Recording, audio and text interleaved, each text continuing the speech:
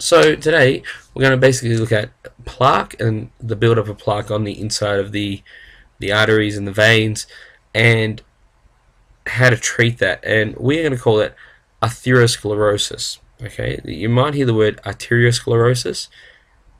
That is a subset of the same thing. So athero atherosclerosis is what we're talking about. Okay, now, so basically, we're talking about describe. So, what we're going to do today, our goals are to describe the buildup of plaque on the walls of the major arteries and veins, uh, and then, of course, the consequences and how we can eliminate that to ease blood flow.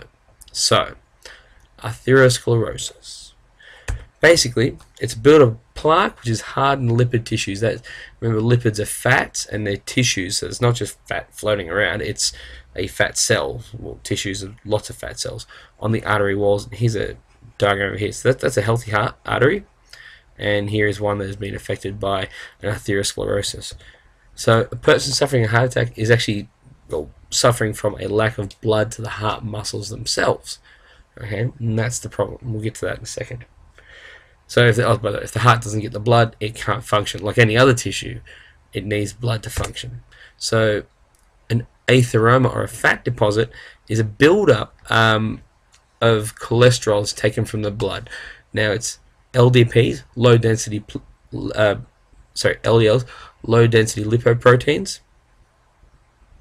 These are, are taken from the the uh, the blood flow and they build up as an atheroma. Now, in food you have LDLs and high density lipoproteins. The LDLs are the ones that cause problem. High high density lipoproteins in a small amount are beneficial. All right, so dense white tissue can also be laid down. Um, this cause on in the wall of the vessel. Now, this can cause the smooth endothelial wall, that's the inside wall, to break down and give you a rough fibrous tissue exposed. Now, blood platelet, platelets which cause clotting, uh, clotting, sorry, that's the when it all joins together, they adhere to rough surfaces. Um, and a blood clot can then form, a thrombus can form where that rough surface is. If you want to see an example of that, boil some water in a scratched up pot. Where it's rough, that's where you'll see all the bubbles coming from. Uh, the rough surfaces, they just they tend to cause the abnormalities in the liquids. Alright, so what can this result in? So basically, an aneurysm, which is caused by blood pressure rising. So as the blood pressure rises, you can see it's going to triangulate here. It's going to push a large, the same amount through a smaller hole, and that will cause a rise in pressure. Now, this will then cause the wall to weaken and break, and that's an aneurysm. Now, you can have an asembolism, sorry, an embolism. Um, embolisms are clots that move throughout the body. All right. You can also have a thrombosis, which is a, a clot in a specific location. And this, this also happens on, on flights where people get deep vein thrombosis. So a thrombosis is a clot that's a blood clot that's in one spot.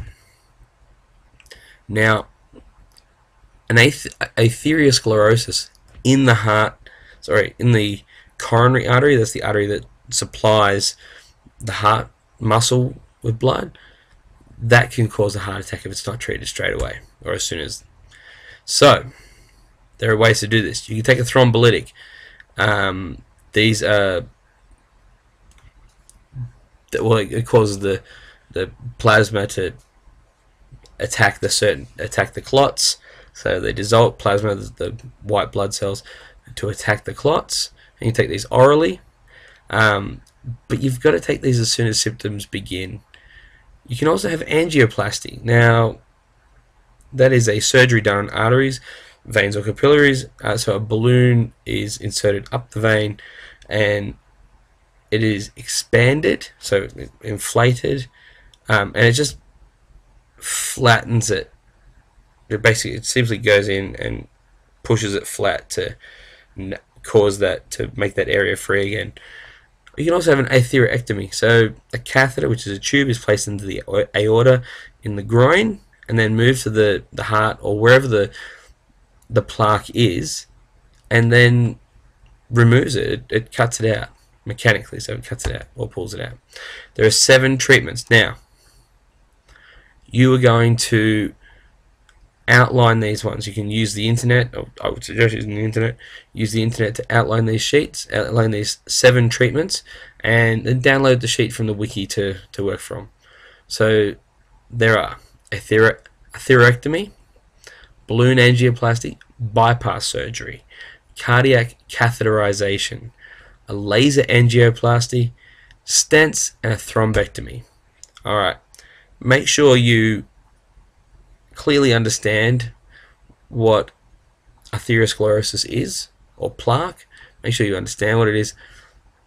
Results, what it can result in. That might be best done with a, a flow chart. And you might want to, again, take a quick note of those seven different treatments and how they work, and then work on that worksheet. That should summarize all of this for you. Good luck, stay rad, see you in class.